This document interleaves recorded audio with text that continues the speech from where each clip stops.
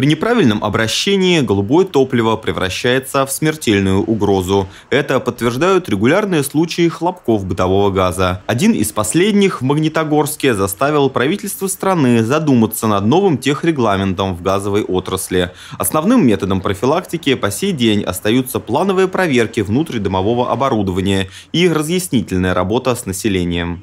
Вообще, мы сами можем обнаружить утечку газа.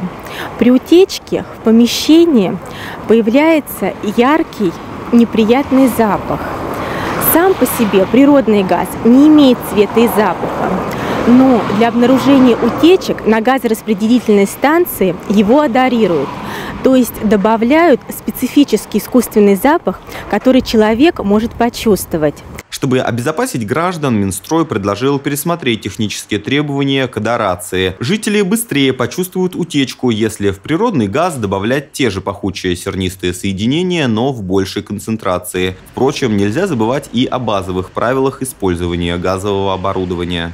Во время работы газовых приборов самое главное – обеспечить постоянный приток свежего воздуха, открыв форточку или окно.